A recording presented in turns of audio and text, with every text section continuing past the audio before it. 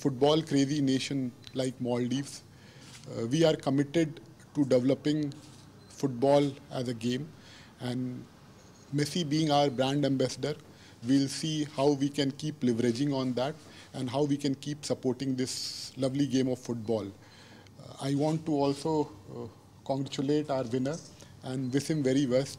I'm sure some of bright talent like this will become a future Messi of our country.